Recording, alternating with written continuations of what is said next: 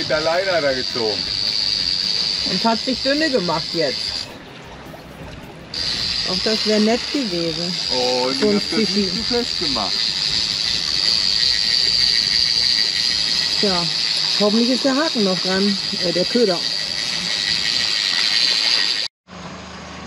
Die Sonne ist aufgegangen. Wir sind die ganze Nacht so mit drei Knoten dahin geschlichen. Und jetzt muss ich euch sagen, gut, dass man seine Tochter dabei hat. Guten Morgen. Steht auf und macht gleich den Kaffee. Es ist 8 Uhr. Taranea ist schon seit zwei Stunden in Sicht. Die optimale Passdurchfahrt wäre eigentlich 13 Uhr, aber wir wollen es eigentlich so gegen 10 versuchen. Und man glaubt es gar nicht, es liegt hier tatsächlich ein Kreuzfahrtschiff drin. So viel zu einsamen Inseln. Anixi ist uns dicht auf den Fersen.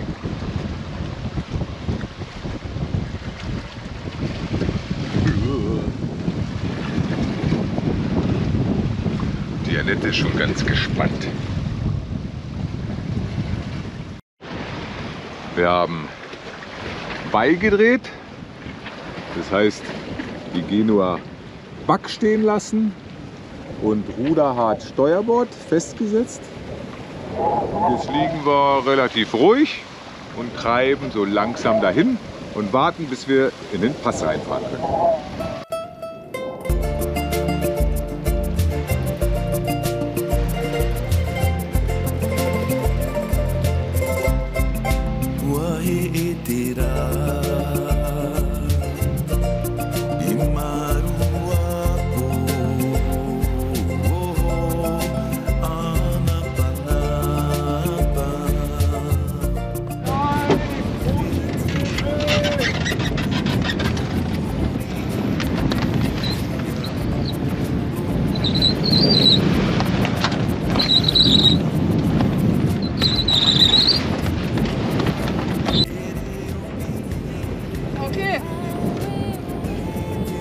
Einmal anziehen bitte.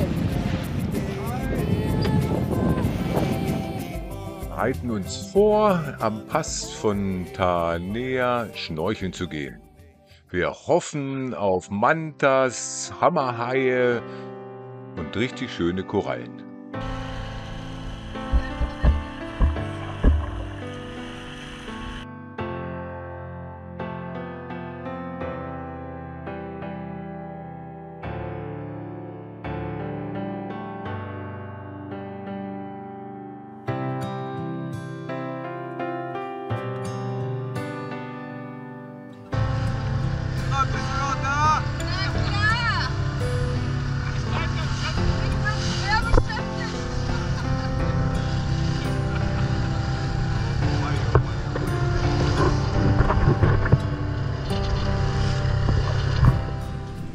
Endlich auf Wunsch von Kira gibt es heute Kaiserschmarrn.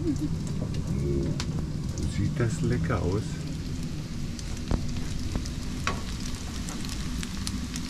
Und jetzt wird er gerade Karamellisiert.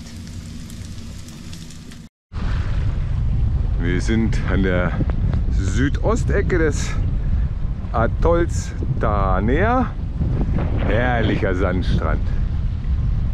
Und hier wettern wir jetzt den Wind ab, der kommt. Es soll wieder bis 30 Knoten kommen.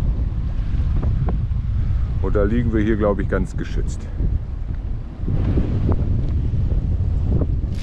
Inselerkundung. Ach nee, das ist ja ein Motu. Wir wollen einmal rund ums Motu laufen und hoffen, dass wir Nico treffen. Der bearbeitet hier die Palmen und sammelt Kobra. Wir haben endlich eine Kokosnuss gefunden. Weil an die, die auf den Bäumen wachsen, kommen wir nämlich nicht dran. Genau.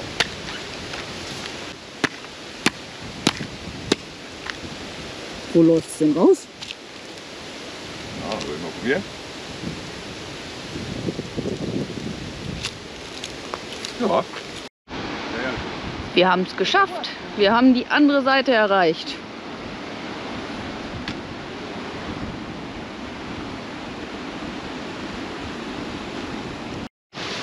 Wir dachten schon, wir wären jetzt einmal rum, aber wir müssen erst über den Mondkrater hier gehen.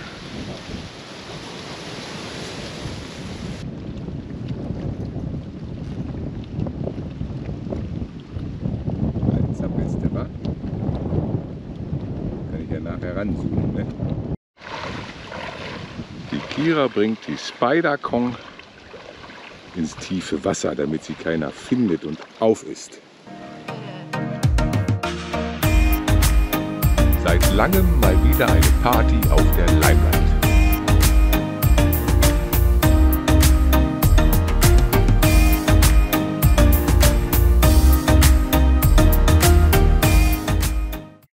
Mit Nico, dem Einheimischen, der hier an der Südostecke wohnt, geht es zum Krabben- und Lobsterjagen.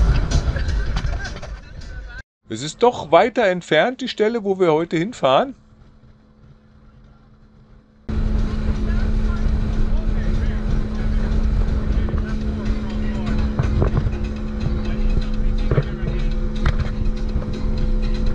Jetzt bereiten wir erstmal die Fallen für die Kokoskrabben vor. Die Kokosnüsse werden aufgeschlagen und dann so aufgeschlagen in die Bäume gehangen. Und da sollen dann die Kokoskrabben kommen, die wir dann heute Nacht hier, ja, ich sag mal, ernten wollen. Hier muss man aufpassen, dass man nicht einsackt, überall sind hier schon Löcher von den Kokoskrabben. Es ist kurz nach fünf und äh, wir warten, bis es richtig dunkel ist. Nico sagt, 19 Uhr, es ist dunkel. Ja, wir sind hier ziemlich weit weg. Ich habe mal circa vier Meilen von unserem Ankerplatz entfernt. Und gleich geht's auf Lobsterjagd. Und wir gehen dazu aufs Außenriff. Das ist so circa 50 bis 100 Meter breit und bei Flut auch total überspült. Und dort in den Löchern verstecken sich die Lobster, die man dann einfach einsammeln kann. Wir stolpern hier übers Riff bis zu den Hüften im Wasser. Die Wellen rauschen am Außenriff. Aber leider haben wir noch keine Lobster gesehen. Der Nico ist schon vorgerannt, der mit einer wahnsinnigen Geschwindigkeit. Und ich habe gesehen, der hat seinen, seinen Kanister schon halb voll. Noch keine Lobster gesehen. Noch keine gesehen? Die Hose ist nass. Okay. Die Wellen sind da vorne ziemlich groß. Also, ich habe ihn entdeckt, Papa hat ihn gefangen, aber wir lassen ihn wieder frei, weil er ist ganz klein. So, wir lassen ihn wieder frei. Weg ist er. Also hier so kleine haben wir auch gehabt. Ja, du hätten wir auch mitnehmen können. Zurück auf der Insel, wo wir die Fallen versteckt haben. Und tatsächlich, da sind sie. Riesige Krabben und eine super tolle Farbe. Guckt euch das mal an.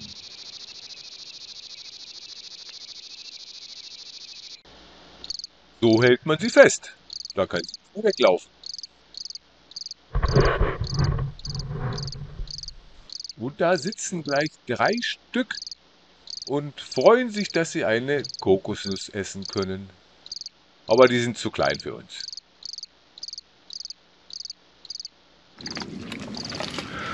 Unsere heutige Ausbeute. Zwei Kokoskrabben, die wir von Nico geschenkt bekommen haben. Und die wird die Annette für uns heute Abend fachgerecht zubereiten. Was sagst du dazu? Soll schon eine Ich habe noch leider keine Idee. Also, Also Nico sagt 40 Minuten Kochen. kochen. aha, okay. Und dann kann man sie bestimmt nackig machen. Ist das hier fertig gekocht? Das sind die Beine und die Scheren. Das ist heiß, Vorsicht. Und hier drinnen sind die Das Körper. sieht echt eklig aus. Das sieht widerlich aus. Also meine beiden Mitbewohnerinnen sind da nicht so begeistert von. Nee. Aber ich habe jetzt schon eine Schere, einen, einen Fuß aufgemacht und gegessen. Ja, und der war lecker.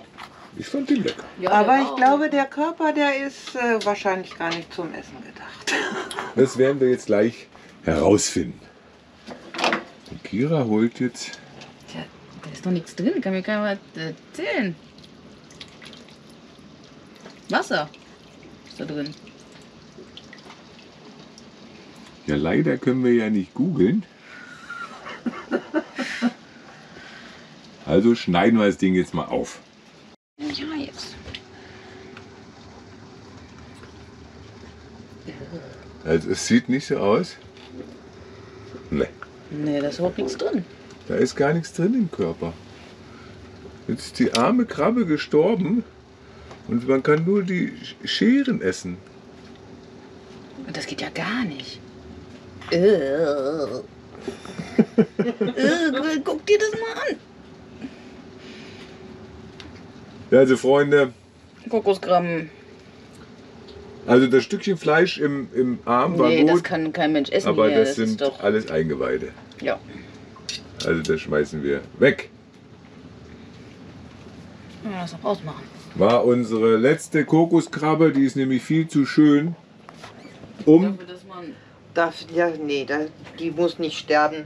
Nur damit man seine Beinchen essen kann. Ja. Mhm. Sehr gefühlvoll. Gleich zermatscht. Ja, wie? Bitte. Also mit grobem Werkzeug versuchen wir, an das Fleisch ranzukommen. Das arbeitet, äh, artet hier in Arbeit aus irgendwie. Hier kann man sich hungrig essen. Glaube ich. So, Annette, wie ist dein Zwischenresümee? Sehr lecker. Aber das ist nicht wert, dass sie dafür sterben. Puro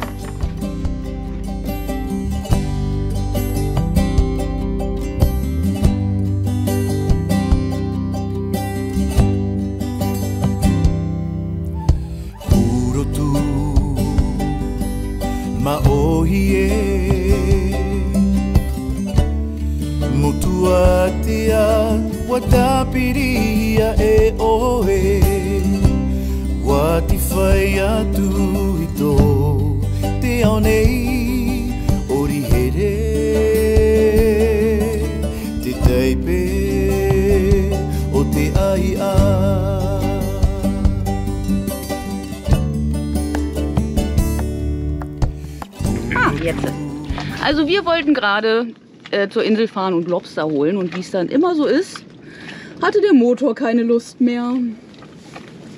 Und jetzt versuchen wir das Problem zu finden. Wie es aussieht, das sieht man nicht, muss in die Sonne halten, glaube ich. Ja. Könnte das untere Wasser sein und das obere der Sprit, weswegen der Motor nicht mehr läuft. Irgendwie hat uns einer schlechten Sprit verkauft.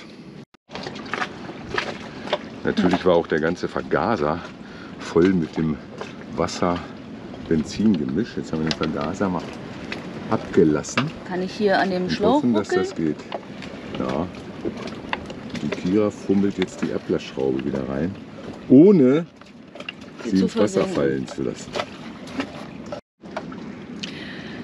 So, wir haben jetzt den Vergaser nochmal ausgebaut und nochmal sauber gemacht. Und hoffen, dass wenn wir ihn gleich eingebaut haben, der Motor schnurrt wie ein Kätzchen. Genau. Endlich mal wieder Lagerfeuer. Und das hat die Kira angemacht. Ihr erstes Südsee-Lagerfeuer. Das ist ein Feuerteufel. Unsere Jagdbeute wird jetzt hier gegrillt. Ja, die hat sich ja bestimmt gewehrt.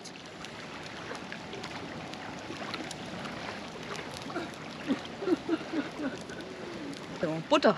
Das ist Butter und Zucker. Wir machen jetzt Butter da drauf. Oh, heiß. Nicht so schlimm.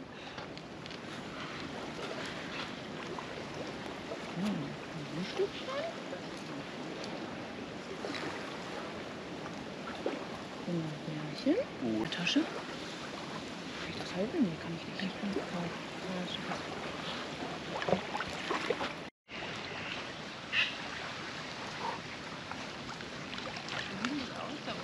Ich habe mir dabei nur die Finger verbrannt. Weil es ist ja so Dann ist es aber wie, wie Würstchen fangen. Also, ja, aber heiß. Aber ist mir gut. ein bisschen braun ist es, Akko. Ja. Knusprig. Und das hier, das sieht auch super aus. Mit dem Hintergrund. Oh, Hammer. Nee, Nora, am besten ziehst du es runter und steckst es immer wieder drauf. Durchsteckt. Hallo, hier ist die Kamera. Reaktion? Lecker? Sehr gut. Ich weiß noch nicht. ich versuche noch vorzuschieben. Also kann man essen. Au. Das kann man kann auch direkt da abbeißen, weil die Lippen sind nicht so, Ja. so empfindlich wie die machen Finger. außerdem nur gleich Blasen, wenn es zu viel ist. Ja, super. Mhm. Au.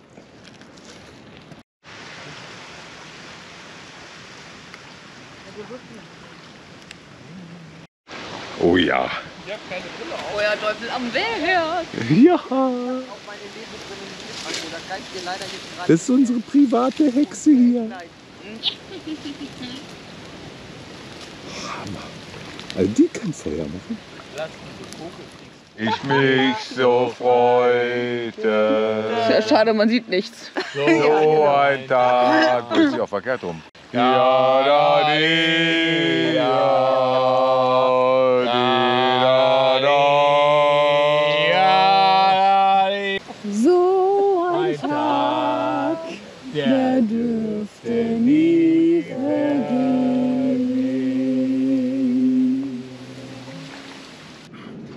Es gibt wieder was Neues. So seit äh, ja, zehn Tagen haben wir äh, Salzwasser in der Bilge. Und äh, es wird von Tag zu Tag mehr. Also jetzt muss man schon dreimal am Tag die Bilge wieder auspumpen. Dann kommen dann immer so drei Liter daraus. Äh, ich habe schon alle Seeventile kontrolliert. Das ist alles dicht. Und jetzt ja, wie man hier so sieht, habe ich hinten wieder die Steuerboot Achterkoje ausgeräumt, weil das ist der letzte Punkt, wo ich noch nicht geschaut habe. Und da werde ich jetzt mal schauen, wo Wasser reinkommen kann. Und so sieht das dann hier wieder aus. Heute macht die Kira für uns Kokosraspeln.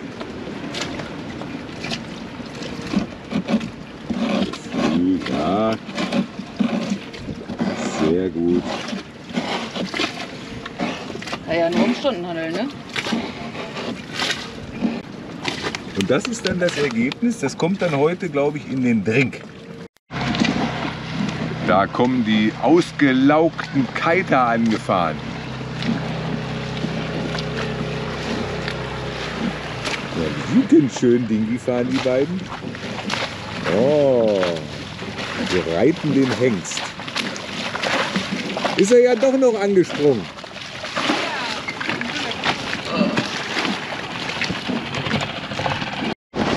Also nicht, dass ihr denkt, wir arbeiten nur. Nein, wir sitzen auch ab und zu hier und trinken ein paar gemixte Drinks mit Local Zutaten. So sieht der nämlich aus hier. Heute wird mal auf der Limelight Romy gespielt. Na Mensch. Was? Ja, passt. Ja, ne? Alles gut. So. Sieht aber steinig aus. Wir machen eine Überquerung zum nächsten Motu.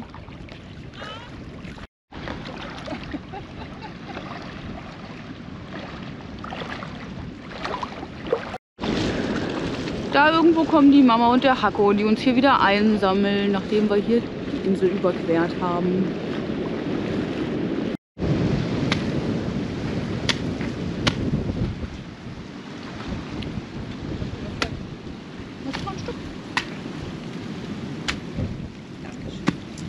Es ist hier halt das Paradies. Papa schält die Kokosnuss.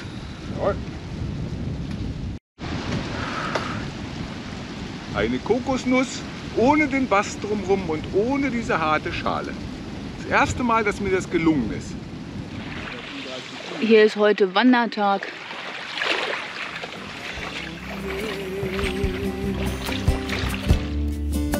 kuwatia watapiria eoe watifaya te tionei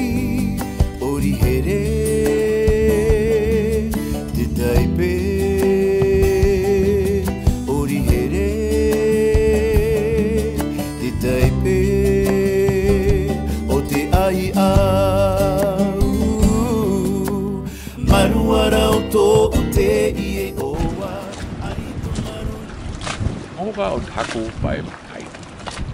Marco passt jetzt auf Nora auf. Mal gucken, wie das bei ihr so funktioniert.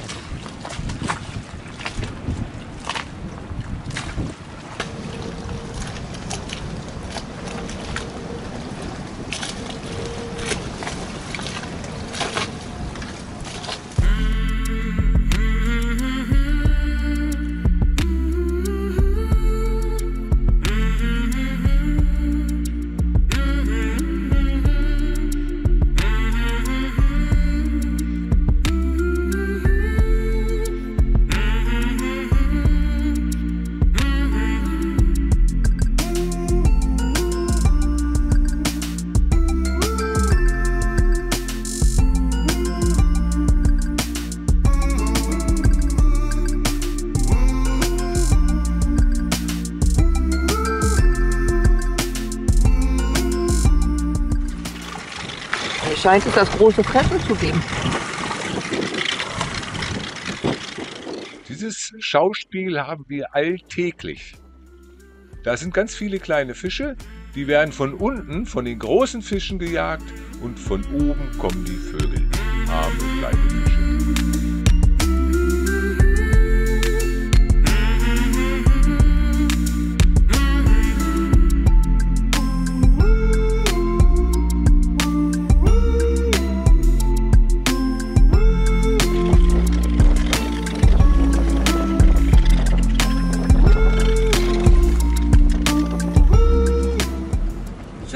Hatten sie, oder?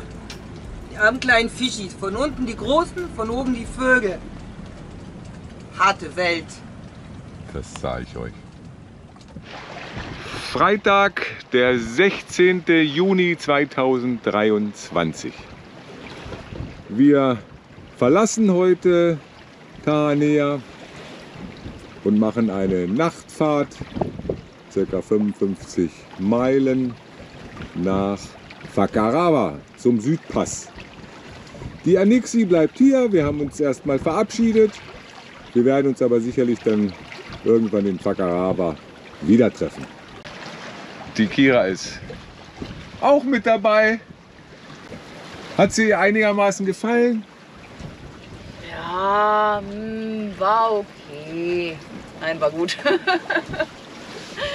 Gestern war auch. Also das war echt ein Erlebnis mit dem da über das Riff zu stapfen und die Lobster zu sammeln. War schlechtes Wetter, ne? Zeitweise. Ja, bisschen viel Wind, bisschen viel Wolken. Wir werden immer blasser.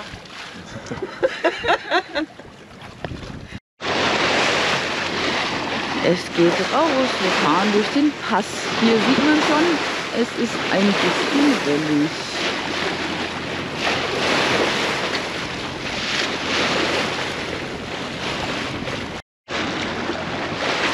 Und da hinten, weiß ich nicht, wie man das sehen kann, äh, scheinen die Strömungen aufeinander zu treffen. Da ist es super kabbelig. Hier kommen jetzt gerade die Wellen aus mehreren Richtungen. Ja, diesmal war der Pass ziemlich kabbelig. Wir sind also zwei Stunden nach Slack-Tide und hatten ungefähr zwei Knoten Mitströmung. Und da natürlich die Welle auch gegen uns ist, ist das so eine fiese Krabbelsee. Aber wir sind draußen!